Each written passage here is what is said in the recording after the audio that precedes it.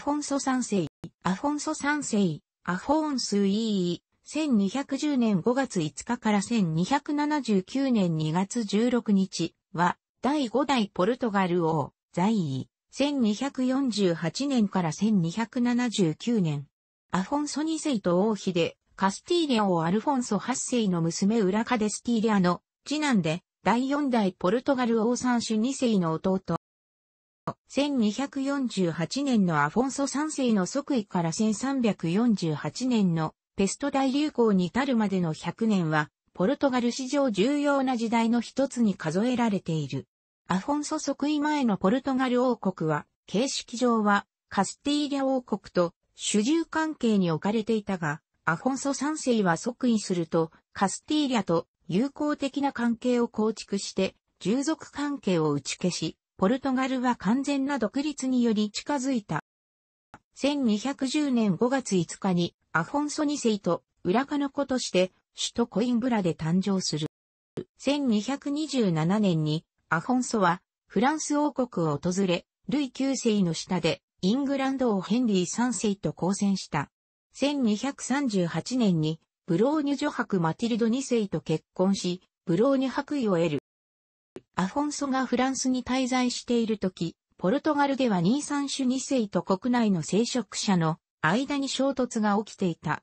1245年に、ローマ教皇インノケンテウス4世は、新たなポルトガル王を選出するよ指示し、三種に代わる王として、アフォンソに白羽の矢が立った。同年にアフォンソはパリで聖職者と協定を結び、ポルトガルに帰国した。1246年にリスボンに到着したアフォンソは、ポルトガル南部を拠点として三種と戦うが、苦戦を強いられる。だが、三種が頼みにしていたカスティーリャ王国の援軍は到着せず、三種は王位を放棄してトレドに引き上げた。三種は子を残さずに1248年にトレドで没し、アフォンソはポルトガル王位を継承した。即位したアフォンソ3世は国内の支配を強化するため、ポルトガル南部に残存するイスラム教徒との戦争を開始する。1249年3月、イスラム教徒の飛び地となっていたアルガルベ東部のファロとルベスを陥落させ、ポルトガルのレコンキスタは完了した。レコンキスタの完了後、ポルトガルの経済は略奪中心の軍事的な経済体系から生産、交易を主とする経済体系に転換していく。1252年にカスティーリャ王に即位したアルフォンソ10世とアルガルベの支配権をめぐって争い、翌1253年にインノケンティウス4世の仲裁によって一時的にアルガルベの統治権をカスティーリに譲渡することを飲んで講和した。1263年にポルトガルカスティーリャ間で結ばれた協定によって、アルガルベの支配権は2歳のアフォンソ3世の王子ドン、ディニス、後のディニス1世に預かられ、1267年までに、ポルトガルはアルガルベの領有権を確保することができた。アフォンソ3世の死後に結ばれた1297年のアルカニセス条約によって、ポルトガルとカスティーリャの国境が確定する。1253年のカスティーリャとの和平に際して、アフォンソ3世はマティルドと離婚し、代わってアルフォンソ10世の初出の娘ベアトリス、ベアトリーセと再婚した。教会はアフォンソ3世の再婚に不快感を示したが、ポルトガル国民はベアトリスを歓迎し、王妃に対する敬意を払った。1263年に教皇はアフォンソの二度目の結婚を認めたが、この時すでにベアトリスとの間にはドン・ディニスをはじめとする三人の子が生まれていた。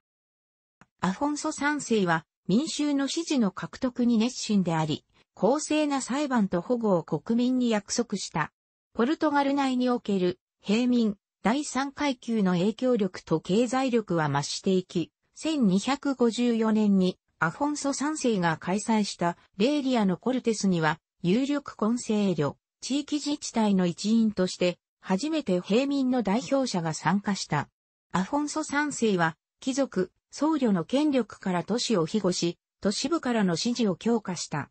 1255年には首都をコインブラからリスボンへ移した。1275年6月、教皇グレゴリウス10世は、かつてアフォンソ3世が、ポルトガル王位の承認と引き換えに教会に誓った忠誠を持ち出して服従を要求した。アフォンソ3世は教会への服従を拒絶し、破門を宣告されるも、死の直前に教会と和解し、1279年2月16日にリスボンで没した。マティルドとの間に生まれたのは夭逝した一男のみであった。アフォンソ3世の死後、王位は後妻ベアトリスとの間の息子ディニスが継承した。モル・アフォンソ、マリア・ペレス・デエンシャラという少なくとも2人の妾を持ち、判明しているだけで10人の非嫡出子を持った。アフォンソ3世の知性の前期にわたり、友人であるエステバン・ウェアネス、長身のジョアン・ペレス・デアボインが政府の重職についていた。長期の側近の任用は彼らの権力の乱用を助長したが、一方で行政組織の確立と運営の実践に役立った。アフォンソ3世は、教皇の後ろ盾があって即位したが教会に対して盲目的な忠誠は誓わず、ポルト司教を、エボラ司教を除くすべての皇位聖職者と対立した。教会裁判所の権限を強化しようとする教会に反発し、国王が持つ伝統的な司教助任権の確保に不信した。先代から実施されていた横領検知、インキリサムを再開し、多くの皇位聖職者、貴族を服従させた。インキリさんによる権力の乱用、王権の侵害の調査は父アフォンソ2世時代のものよりも過酷であり、アフォンソ3世の在位中は貴族たちは従順な姿勢をとていた。アフォンソ3世は、三種二世の支持者たちの土地を没収し、自らの支持者たちに奪った財産を分配した。アフォンソ3世のリスボンへの遷都によって、ポルトガル南部の経済、文化的重要性が増した。アフォンソ3世は、新都リスボンに強い愛着を抱き、居住条件の改善、住居、商店の所有権の独占、横領地の拡大によって、町を購入しようと試みた。リスボン市民はアフォンソ3世の試みと手法に反感を抱いたが、アフォンソ3世は町の最大の保護者となり、町もアフォンソ3世を常に支持した。楽しくご覧になりましたら、購読と良いです。クリックしてください。